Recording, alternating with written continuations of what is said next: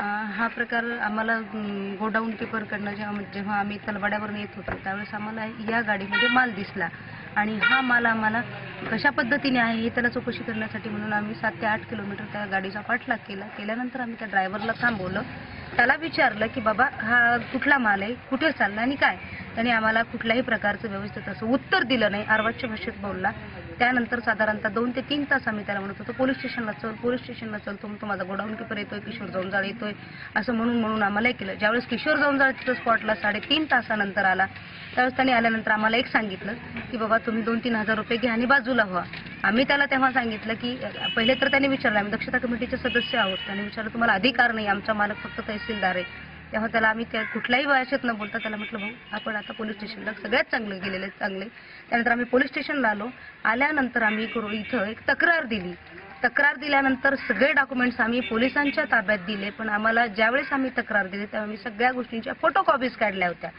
ज्या फोटो कॉपीजमध्ये हा खालचा जो रकाना असतो हा कुठल्याही प्रकारे भरलेला नव्हता.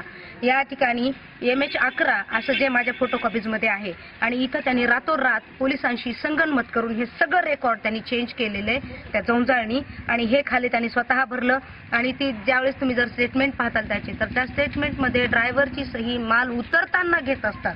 त्यामध्ये माल तसाच होता त्यांनी माल उतरता अजून उतरलेला नव्हता तरी याच्यावर ड्रायव्हरची सही आहे. पंकजाताई तर सांगतायत. प्रशासनाला जाग आणून द्यावी लागते. प्रशासन निश्चित जा ऐकल. त्यांच्यापर्यंत तेवढ्या गोष्टी पोहोचतच नाही. खालचा काळा बाजार कुठपर्यंत जातो हे सांगणारच आजपर्यंत कुणी नव्हतं. त्या माध्यमातून तेवढा विश्वास पंकजाताईने आमच्यावर टाकलेला आहे. आणि त्यांना हे माहिती आहे की हे माझे कार्यकर्ते आहेत माझ्या कमिटीच्या दक्षता कमिटीचे सदस्य आहेत.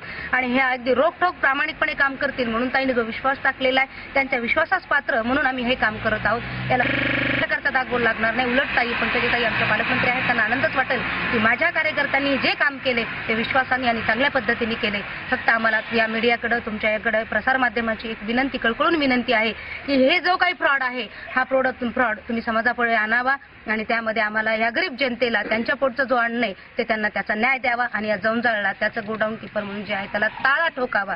तोपर्यंत आम्ही स्वस्त आणि शांत बसणार नाही. दिनांक एकोणीस तारखेला पाच साडेपाचच्या वेळेस चव्हाणवाडी ते डोयपडवाडी या दरम्यान एक शिवसेना महिला पदाधिकारी आणि भाजप महिला पदाधिकाऱ्यांनी मला फोनवर सांगितले की स्वस्त धान्य दुकानाचा माल अवैधरित्या विक्री करता विक्रीकरता घेऊन जात आहेत असे कळवल्यावरून मी त्या ठिकाणी माझे सदरचं एक सरकारी वाहन आणि माझा कर्मचारी पाठवला.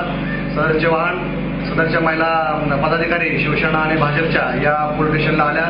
त्यांनी कायदेशीर ते म्हणले की आम्ही सदस्य सदस्य आहेत. त्यांनी कायदेशीर रिपोर्ट मला दिला. सदर रिपोर्टच्या आधारे मी दिनांक वीस तारखेला सकाळी माननीय तहसीलदार सोगेवराई यांना संबंधित अ, दुकानाचा जो माल आहे तो अधिकृत किंवा अनधिकृत आहे किंवा यामध्ये काही तफावत आहे याबद्दल प- पत्रव्यवहार केला. आता सदर गेवराईचे नायब तहसीलदार भंडारे साहेब आणि त्यांचे दुसरे असिस्टंट या ठिकाणी आलेले आहेत. त्यांनी सदरचा घटनेचा पंचनामा केलेला आहे. दिनांक एकोणीस तारखेला हे रात्री नायब तहसीलदार आले होते. त्यांनी सदरबाबत पूर्ण गोडाऊन किपर असतील किंवा त्यांचे जे काही पूर्ण चॅनल असेल त्यांनी चौकशी केलेली आहे. अशा प्रकारचे कुठल्या प्रकारचा अपघात झाल्याचे झाला नसल्याचे ते सांगतायत. कारण की सरकारी माल आहे आणि तो शासकीय या ठिकाणी जात होता. मात्र पोलीस कारवाई करत नाही असा आरोप करतायत. नाही मी मी त्याचा पत्रव्यवहार माननीय तहसीलदार साहेबांना केलेला आहे. त्यांची टीम आता या ठिकाणी आहे. ते ज्याप्रमाणे रिपोर्टिंग करतील त्याप्रमाणे मी कारवाई करण्यात तयार